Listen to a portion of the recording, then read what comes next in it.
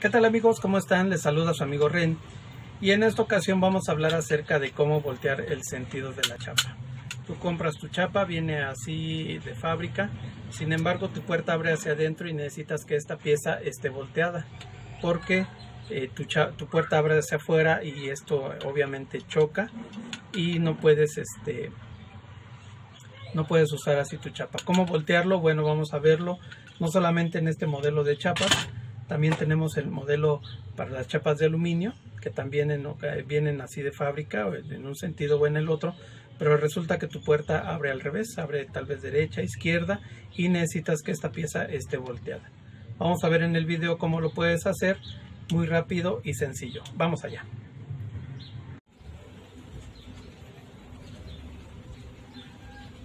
Bien amigos, pues primero que nada vamos a a detener el pasador o el picaporte, el pistilo de la chapa, la vamos a atorar con el tornillo que viene aquí.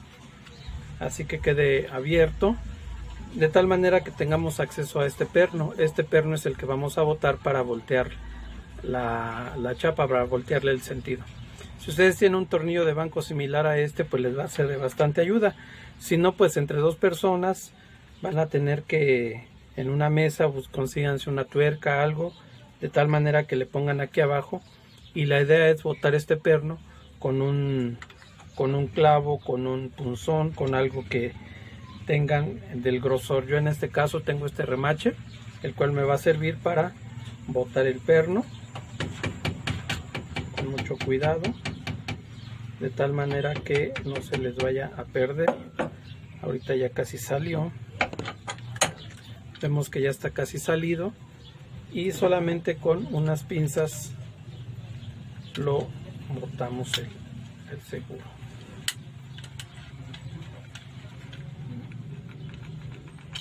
Ahí está.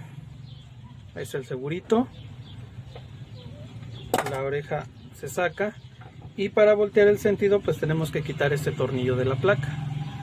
Sencillamente es quitarlo con mucho cuidado si se les llega a descomponer su chapa, a botar los resortes, etcétera, pues eh, he subido un video. No sé cómo poner las tarjetas en, el video, sin embargo busquen en, aquí en el canal el video de cómo armar una chapa correctamente. Si en el transcurso de que subo el video hallo la función, pues con gusto lo comparto. En este momento estamos volteando, venía así, lo volteamos de tal manera que el resorte y la chapa queden en su lugar. Y para le apretamos el tornillo para que lo sostenga y ahí está. Para evitar que se boten los resortes y el mecanismo de aquí pues le volvemos a poner esta biela o el patito yo le llamo patito. Le ponemos la tapa puede ser así sobrepuesta o, o la pueden ya armar.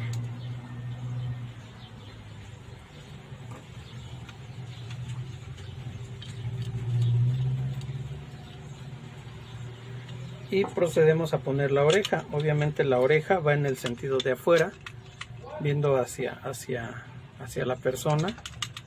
Y aquí está el orificio listo para que entre nuevamente el perno. El perno aquí lo tenemos y pues no es nada más que ponerlo en su posición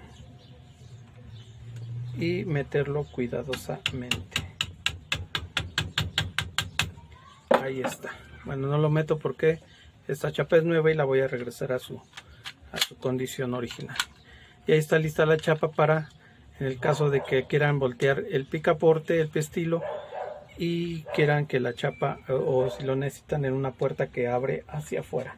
Normalmente las chapas abren hacia adentro, pero pues si ustedes quieren invertirlo, así es como funciona. Pues bien, ahora veamos este tipo de chapas que normalmente se usan en las puertas de aluminio. Esta es llave de punto, sin embargo, pues eso es muy independiente a cómo funciona el mecanismo. Este es el modelo 549 de la marca Philips. Esta y el, modelo 550 son muy similares y para cambiar eh, el sentido del el pestilo o pestillo este es muy muy sencillo. Mm, esto es para las chapas más recientes. Hay chapas más antiguas donde sí forzosamente se tiene que, que cambiar o desatornillar toda esta tapa y hay que tener ahí mucho cuidado con los resortes porque de lo contrario se te pueden botar y entonces sería eh, más complicado de, este, desarmarlo o volverlo a armar. Bien, para voltear el sentido de, del picaporte de esta chapa, únicamente tenemos que identificar estos orificios. En uno de los orificios, eh, si tú puedes, si tienes tu chapa desmontada, pues le puedes quitar esto. Y en uno de los orificios puedes identificar que tiene un tornillo de cruz. No es, no es nada del otro mundo, solamente se afloja el tornillo hasta que salga obviamente. Ahí está. Cuidado con la rondanita que trae. Trae ahí una pequeña rondanita de estrella. Espero que se enfoque bien. Y es nada más voltear el sentido de esta. Ahí lo volteamos.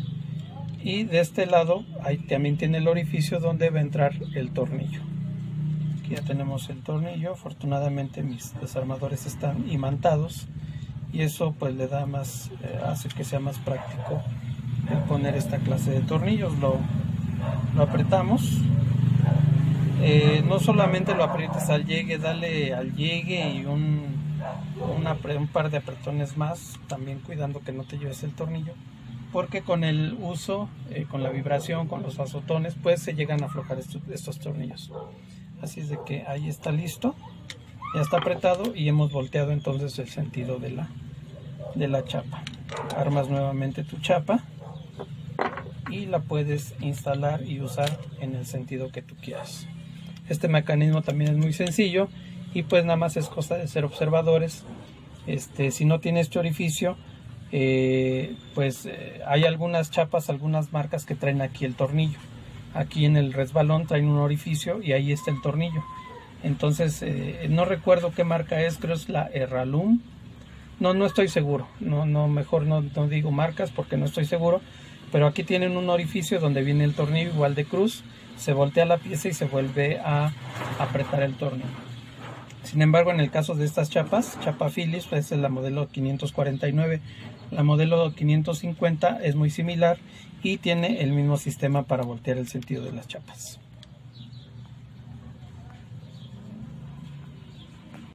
Pues bien amigos, esto fue todo en cuanto a este video, espero, espero que les sea de utilidad, que les guste, no olviden suscribirse, dar me gusta y poner sus comentarios, compartirlo para que más personas sigan viendo estos tips que son sencillos y que lo pueden hacer en casa. Eh, tengo muchos videos en mente, muchos temas en mente y poco a poco iré subiendo este tipo de contenido para que sea de utilidad. Espero que les sirva a quienes estén aprendiendo eh, de la cerrajería, quienes estén, este, eh, que sean aficionados a este tema, pues que les sea de utilidad esto que, estoy compartiendo y que a su vez lo compartan con sus amigos y familiares y puedan hacer este tipo de detalles en casa ustedes mismos. Eh, nos vemos pronto en un próximo video. Les saluda a su amigo Ren y recuerden que para todo hay gente.